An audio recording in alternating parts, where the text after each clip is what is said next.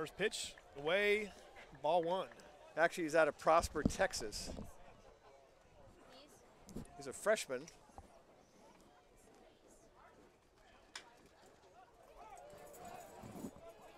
Lifted to the left field. Easy, Yeah. easy fly ball there. Run down by Deaton for the first out of the inning. Chris Andrizos. Okay, the Niners or the Niners, the Roadrunners tied it up in The third. Niners. So yeah, I did know where that came from. This isn't, this isn't a Long Beach Probably State maybe game. it's uh, probably looking at red like 49er San Francisco colors, You're but uh, confused, huh? yeah. Anyway, I was going to say the shutdown inning here you need after last night. Every time, like every time Bakersfield scored, OU would respond. High fly ball popped up and is nope, no one's gonna be there. Out of Wynn play. caught that and blew it out of play. A little later on, that might have stayed in play. Carter is uh, there.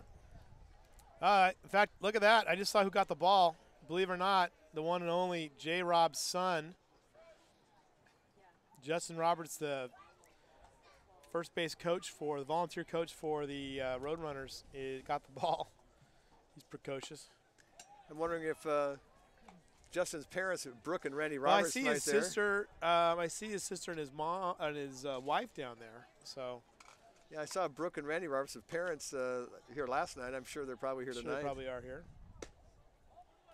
Of course, Randy, his father, was a longtime coach at North High and Centennial at baseball, retired a couple years ago, and mom, Brooke, just went into the local Kern County Hall of Fame. As she should have. 885 high school volleyball coaching wins. I'd argue might be the greatest coach, male or female, in Kern County history, Yeah. based on some of her prep accomplishments. I tell you what, when you have 885 wins and nobody else in the Central Section history has is barely at 600, that tells you how dominant her career was. Well, and the fact that you win a Division One state volleyball title coming out of Bakersfield, that's pretty incredible with the amount of talent that she had there too. Big breaking ball from Andrew Hansen.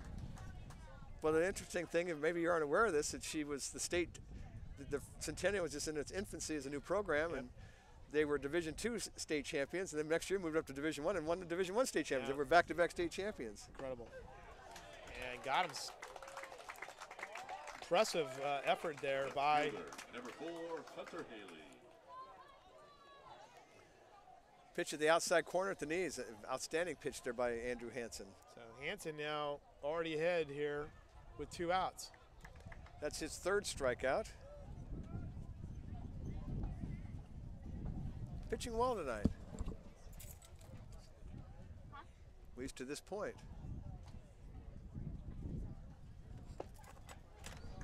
Haley, big swing and a miss on a breaking ball. Swung over the top of it. 74 mile an hour curveball. Haley's an aggressive swinger here. Trying to take some off speed and maybe take a little bit of that aggressiveness away. Next pitch, boring right in there again. Strike two called. Yep. So Andrew Hansen, freshman here from Bakersfield, pitching well here in the top of the fourth. 0-2 count. See if he wastes a pitch here or goes right after him. And he goes right after him, fouls it away. Probably in a John Farron's car. Thanks. There were some moans. Probably my car. I only heard, I did hear one hit a car last night. You hear a little thump. No noise on that one. 0-2 pitch. And uh, he got away from there. Yeah, just wasted one, I think. He was looking at that outside corner and just got up and over.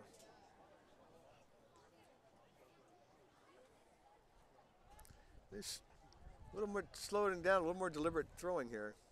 Here's the pitch. And that's going to be fouled back into the corner. It's the fence. It's a bumper on a Suburban. That's where the coaches park Yep. their cars down there.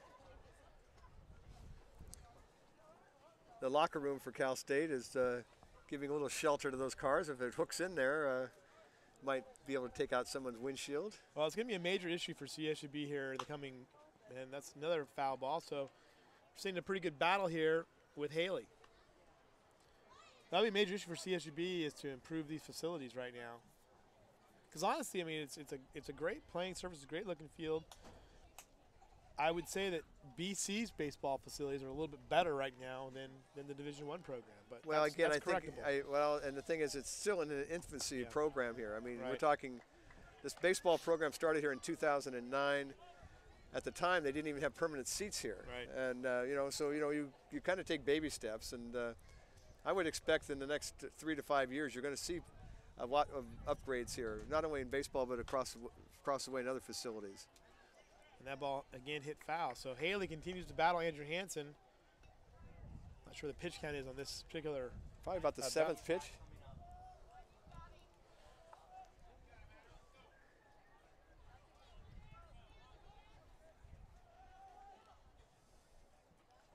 Breaking pitch on the outside, I think he gets him. Down low, full count. I think Matt Turk saying that was, that was the ninth pitch in the series, or in the at bat. 3 2. What do you call now here, Jeff? Outside corner, don't let him pull anything. There's the pitch. And struck him out. And Haley, Haley is not happy. Fires